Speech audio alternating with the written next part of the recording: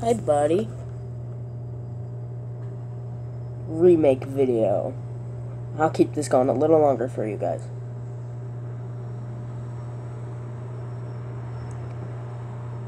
Hope you like them.